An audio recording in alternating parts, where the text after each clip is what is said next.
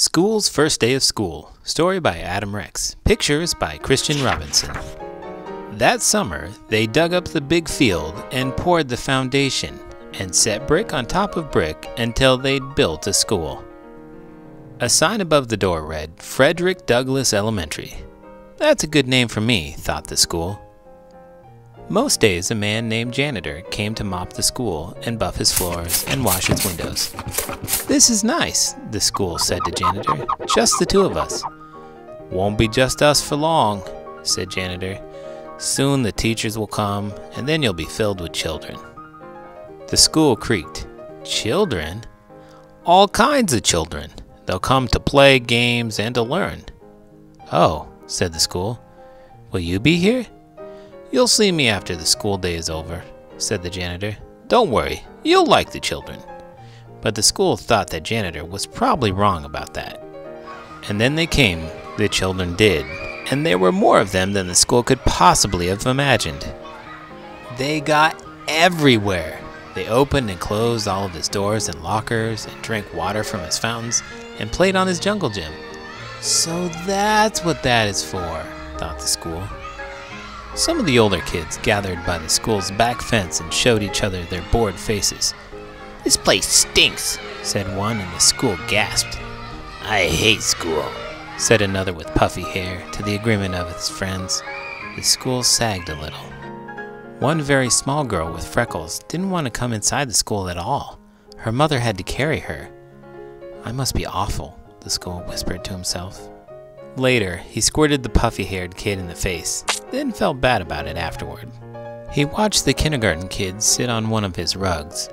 The teacher said, As we go around the circle, please tell us your name. There was an Aiden, and a Max, and a Bella, and another Aiden, and an Emma, and a Caden, and a Chloe. The small girl with freckles was next, but she wouldn't speak. She only stared at her shoes until her teacher moved on. I don't like school, she whispered into her lap.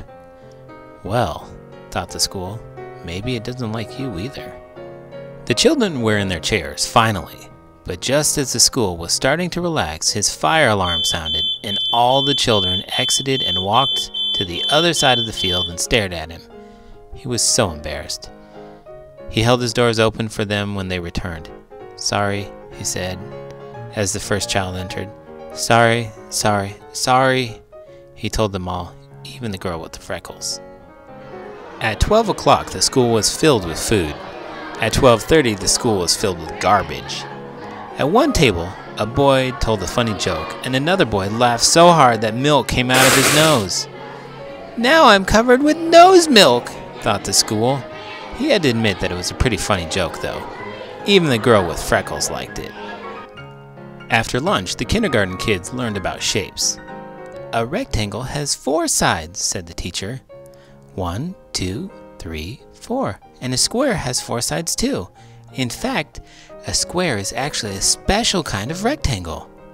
Wow, said the school. I did not know that. Afterward, the children made pictures with glitter and paste. The girl with freckles made a picture of the school. It looks just like me, thought the school, except glittery. It's like she's known me all my life. Do you think I could have your picture? The teacher asked her. Don't tell anyone, but I think it's the best. The school thought she was probably right about that. The freckled girl smiled when the teacher stuck her drawing onto the school wall with a pushpin. Ouch, said the school, but he didn't mind. Not really. At 3 o'clock, the parents came to pick up the children. At 3.30, janitor came to pick up the school. I was full of kids, the school told them and I heard a joke, and I accidentally had a fire drill, but everyone was nice about it, and I listened to a classroom and learned about shapes. You had a big day, said janitor. Do you think, the school said, do you think you could invite everyone to come back tomorrow? Especially that little freckled girl? Janitor nodded. I'll see what I can do. Later, janitor sat on top of the school, and they watched the sun go down. In the beginning, I didn't know what I was, said the school. I thought it was your house. Nope, said janitor. I I suppose some other place gets to be your house, the school added. Janitor nodded. That's true, but you get to be a school. That's lucky. And the school thought he was probably right about that.